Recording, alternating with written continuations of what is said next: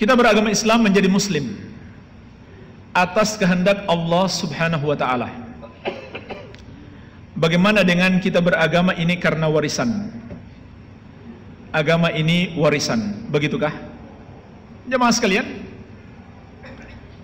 tadi sudah kita jelaskan segala sesuatunya adalah takdir Allah Subhanahu wa taala. Terserah dari sumber mana kita dapatkan ilmu agama ini.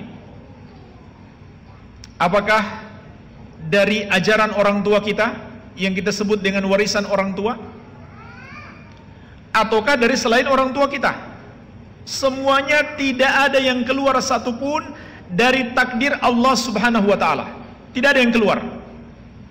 Tidak ada yang keluar. Tidak ada yang keluar.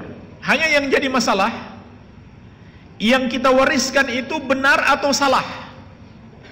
Kalau benar kita pertahankan, kalau salah kita tinggalkan.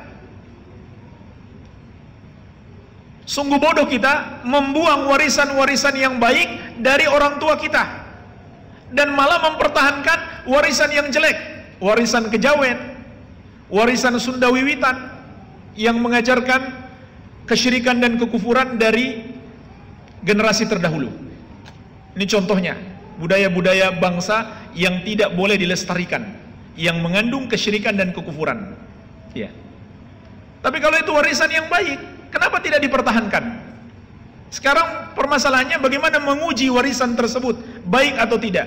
Mengujinya adalah dengan Al-Quran dan Sunnah Nabi Wasallam. Itulah warisan Rasul. Taraktu fikum amraini ma in tamassaktum bihima lan tadillu abadan. Kitab Allah wa sunnat rasuli. Aku wariskan kepada kalian dua perkara. Kalau kalian masih berpegang teguh dengan keduanya kalian tidak akan tersesat selama-lamanya. Artinya kalau kita nggak berpegang teguh dengan keduanya kita pasti tersesat. Itulah kitab Allah dan sunnah rasulnya. Demikian pula dalam hadis yang lain Nabi SAW bersabda Innamal ulama warathatul anbiya.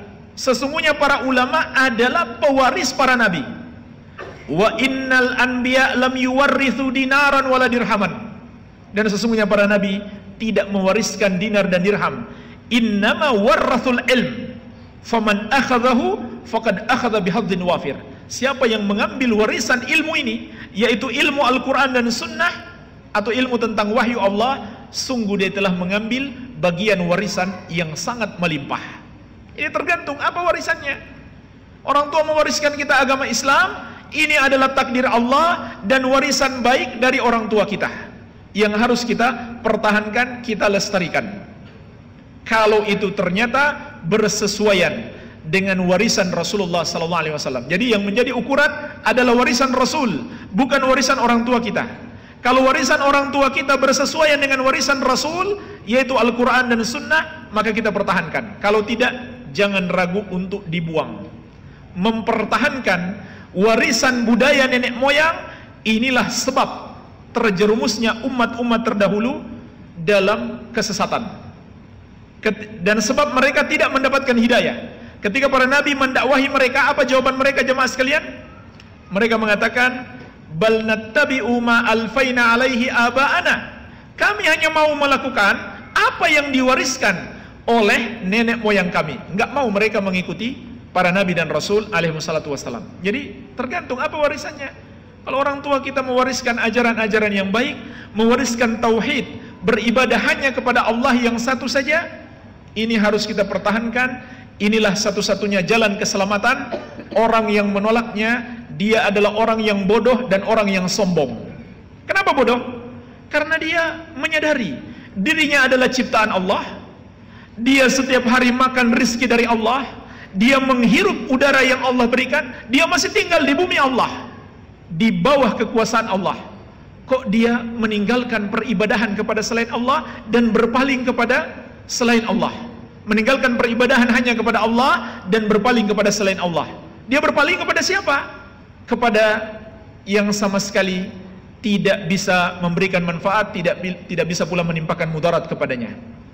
Dan dia membenarkan peribadahan kepada selain Allah, perbuatan kebodohan, menyembah kepada selain Allah yang sama sekali tidak patut disembah, tidak bisa memberi manfaat, tidak bisa menimpakan mudarat dan meninggalkan Allah Subhanahu wa taala tidak mentauhidkannya. Ini namanya kebodohan. Ini namanya kebodohan, bukan kecerdasan. Makanya Allah mengatakan tentang orang-orang kafir, inhum illa kal an'am balhum adallu sabila. Tidaklah mereka itu kecuali seperti binatang ternak, bahkan mereka lebih sesat jalannya daripada binatang ternak tersebut. Sungguh bodoh kita kalau kita membuang warisan-warisan yang baik dari orang tua kita. Sebagaimana kita juga bodoh kalau mempertahankan warisan-warisan yang jelek dari orang tua kita. Ya, karena orang tua kita bisa saja belum paham, kemudian mewariskan satu ajaran yang tidak baik. Maka kalau kita sudah tahu itu tidak baik, jangan kita pertahankan dengan alasan ini budaya nenek moyang. Buang kalau memang salah. Kalau memang salah, buang apalagi yang mengandung kesyirikan dan kekafiran. Iya.